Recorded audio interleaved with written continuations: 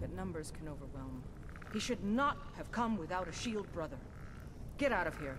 I'm going to make sure we got the last of them, and see if there's any information to be gotten from the bodies. You and I have work to do. The Silver Hand will tremble at our sight. All right then.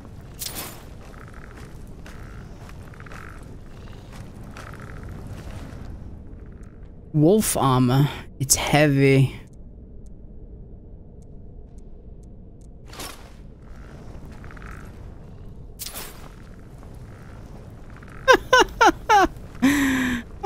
What a fucking place to die.